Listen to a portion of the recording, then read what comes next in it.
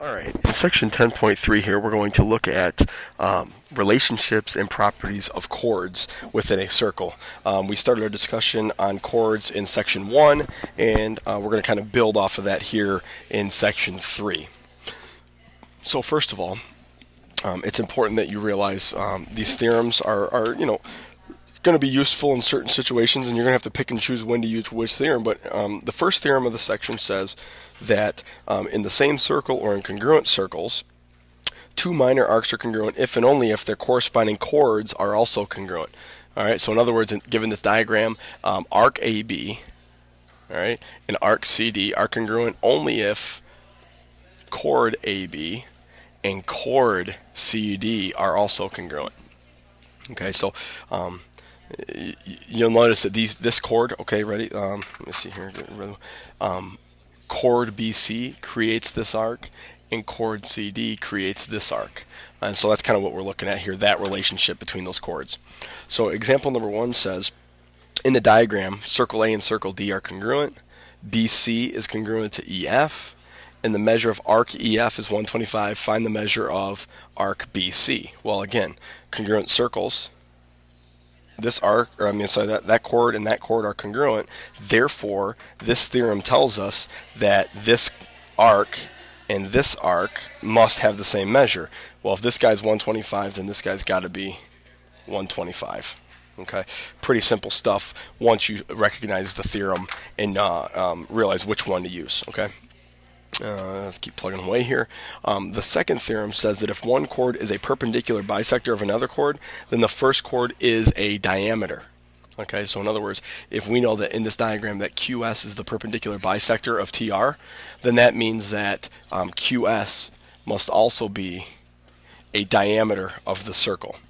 All right, so again, two chords, one's a perpendicular bisector of the other. The first one has to be a diameter. All right, and this one just goes the other way. It says if a diameter of a circle is perpendicular to a chord, then the diameter bisects the chord and the arc. Okay, so in other words, um, in the diagram, this chord would be bisected, and as a matter of fact, these arcs would also be bisected. Okay, um, so if EG is a diameter and EG is perpendicular to DF, then HD is congruent to HF, and um, arc DG is congruent to arc FG. Right, exactly what I just marked in the diagram.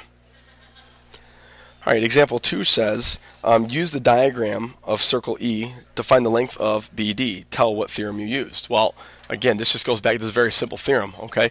We know that AC is a diameter because it's a chord that passes through the center, okay? Furthermore, we know that AC is also perpendicular to um, chord BD. So as soon as you know the diameter is perpendicular, it also has to be a bisector. All right, so if this length is 6, I'm sorry, my calibration's a little bit off here, but if this length is 6, then this length must also be 6. So um, the length of BD is just 6. I'm sorry, I take that back. Um, this piece is 6. And so the whole length of BD would obviously have to be 12. Okay? Uh, and that's all we're looking at there. Using this idea of a diameter being a perpendicular bis- bisector. All right, 10 points. Uh, theorem 10.6, and again, you don't have to memorize these theorem numbers at all. Um, just be familiar with what they say. It says, um, in the same circle or in congruent circles, if two chords are congruent, um, I'm sorry, two chords are congruent if and only if they're equidistant from the center. Okay, so in other words, chord AB is congruent to chord should be CD, not CDF. So make sure you cross that out. Sorry about that. Um, those two uh, chords are congruent if and only if the distance from E to F is the same as the distance from E to G. And go back um, from um, earlier in the semester, we said the distance always has to be perpendicular. Okay, so that's why in this diagram they're showing you, hey, this is perpendicular and that's perpendicular. Um, so these two lengths would have to be equal in order for that, in order for those chords to be congruent.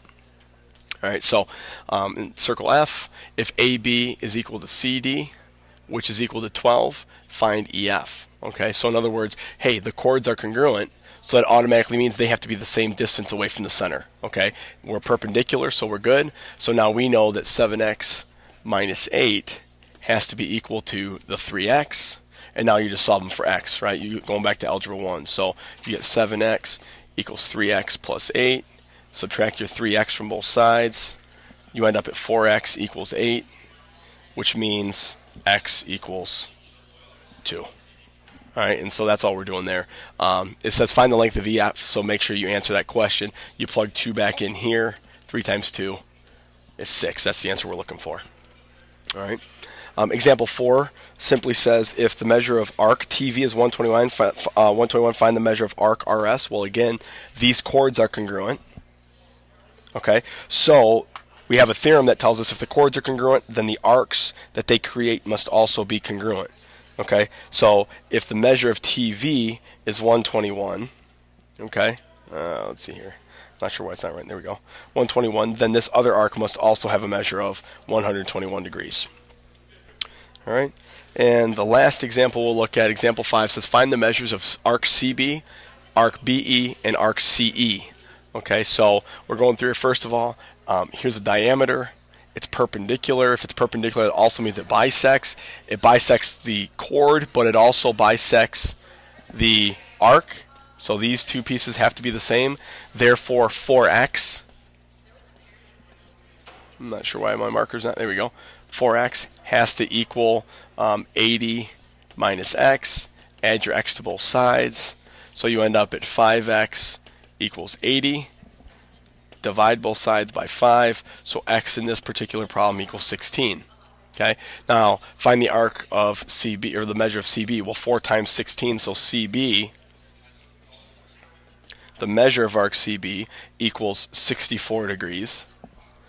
Um, the measure of arc BE has to be the same, so the measure of BE is also 64 degrees. And finally, it says find the uh, measure of arc CE. So the whole entire arc would be 128. Okay, so um, again, these are some obscure theorems, some theorems that you've never seen before, obviously, um, and we'll continue to use them again uh, as we work through some more examples in class.